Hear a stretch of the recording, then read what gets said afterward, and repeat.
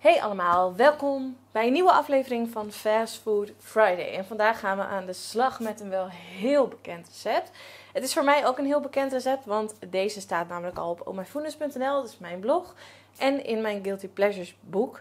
Maar ehm, ik bedacht me dat ik hier nog nooit een video van op heb genomen. En mijn recept is door de jaren heen een klein beetje veranderd. Dus ik dacht, fuck it, we gaan dit gewoon nog een keer doen. Vandaag maken we een homemade Big Mac.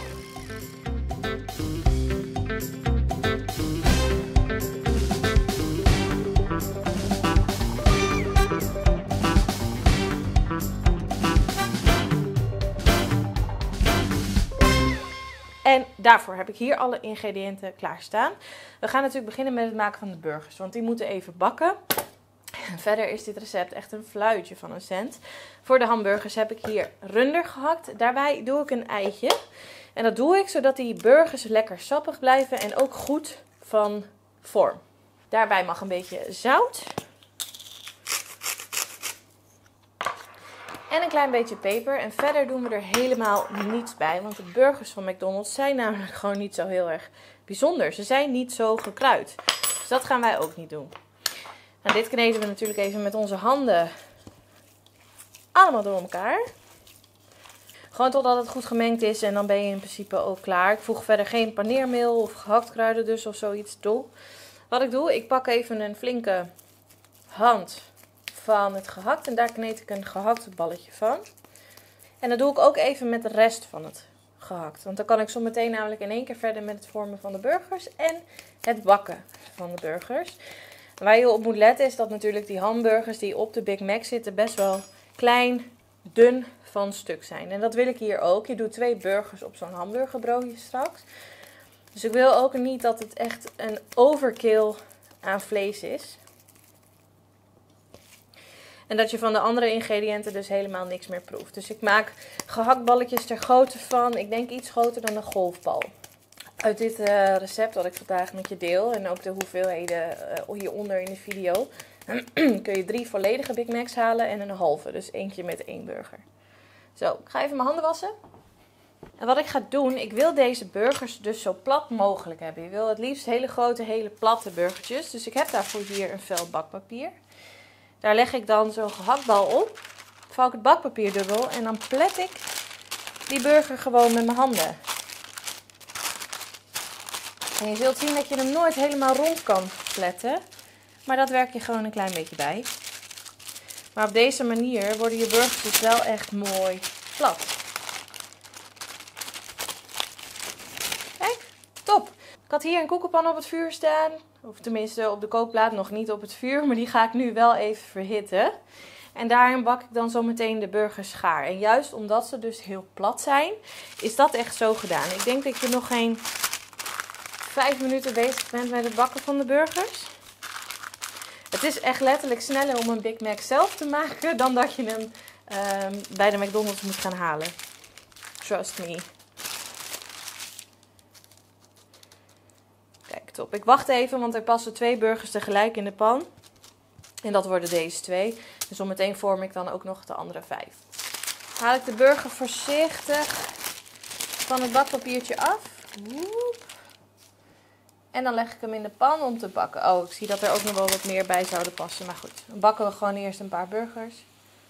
Zo. Deze bewaar ik dus even het velletje voor de rest van de burgers zometeen. Het is belangrijk dat je nu die burgers dus in ieder geval aan één kant mooi donkerbruin bakt. Voordat je ze omflipt. Dus je ziet dat de onderkant van één zo'n burger bruin is. Dan draai je hem om. Oh, wel heel houden.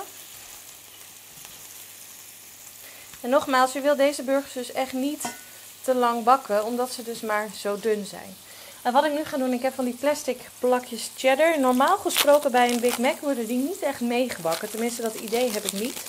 Ik heb altijd een beetje het idee dat die kaas stoomt in dat bakje. Maar ik vind het dus veel lekkerder als die cheddar echt helemaal over de burgers heen smelt. Dus vandaar dat ik ze, als ze zijn omgedraaid, daar vast op leg.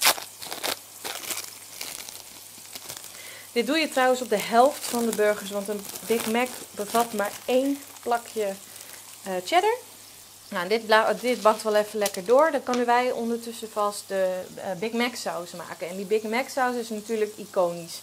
Iedereen wil die saus in een ehm, flesje hebben. Maar zo moeilijk is die helemaal niet om te maken. Je hebt er namelijk maar vier ingrediënten voor nodig. En het hoofdingrediënt, het tevens het aller, aller, aller, allerbelangrijkste ingrediënt, is sandwich spread. En voorheen gebruikte ik altijd tuinkruiden sandwich spread. Deze is van Heinz. Ehm, maar die is uit het assortiment gehaald. Gelukkig hebben ze nog wel de naturel. Die doet het ook echt prima.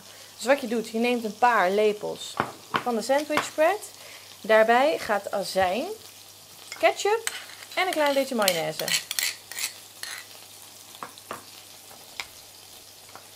dit roer je even goed door tot een sausje. En dan heb je gewoon de Big Mac saus. Ik zweer het.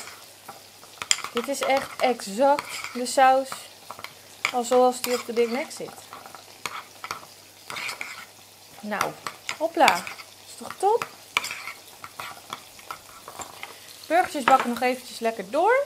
En de burgers die gaar gebakken zijn, die wip je vervolgens even uit de pan. En die laat je op een bord een klein beetje uitlekken. zo. Herhaal ik het hele proces wat ik zojuist heb gedaan nog een keer. Dus ik leg twee gehakte ballen tussen het bakpapier. Dat stamp ik helemaal fijn de handen. Randjes werk ik een klein beetje bij met mijn vingers.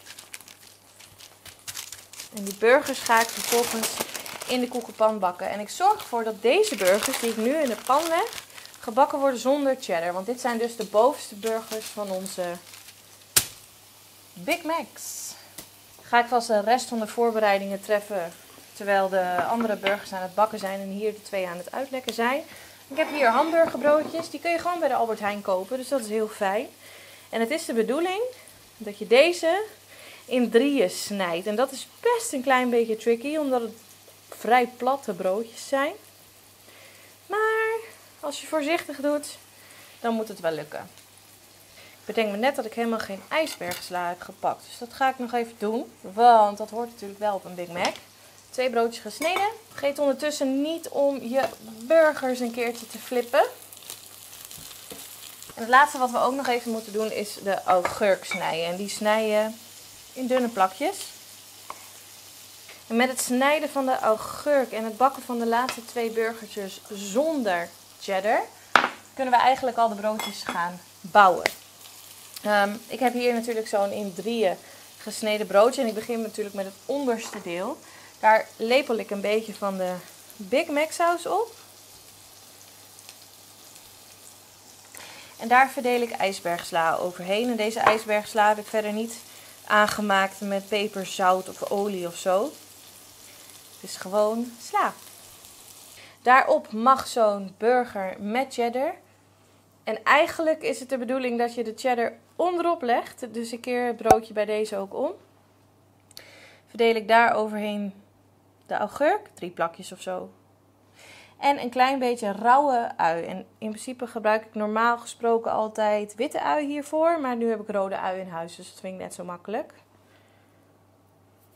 Dan nemen we het middelste stukje van het brood. Die leggen we er weer bovenop. Nog weer een klein beetje saus overheen.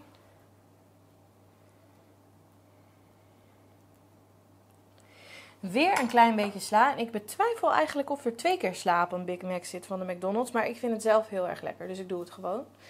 Um, bovenop die sla mag dan een burger zonder cheddar. En die maken we weer af met wat plakjes augurk en rauwe ui. En dan het kapje erop.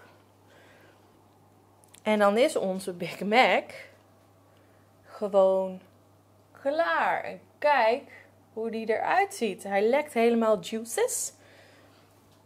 Goed, ik ga even de rest van de broodjes afmaken en dan gaan we proeven.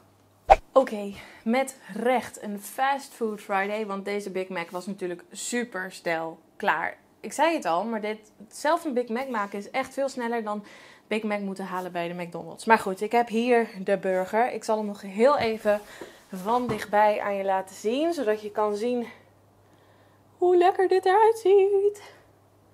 Ik kijk. Compleet. Is toch net echt?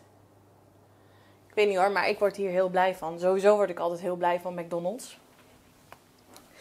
En ik kan dan ook niet wachten om deze homemade Big Mac zelf te gaan proeven. En dat gaat natuurlijk nooit netjes lukken. Dus uh, knip in het beeld. Mm, mm, Yummy. Zo lekker. Kijk. Die eigen gemaakte Big Mac saus, die doet het hem natuurlijk. Want daardoor is dit gewoon echt een Big Mac geworden. Heel erg lekker als je het mij vraagt. Veel leuker dan hem halen. Stuk verser qua smaak natuurlijk ook. En helemaal dus niet zo ingewikkeld om te maken. Want je kunt gewoon alle ingrediënten bij de normale supermarkt halen.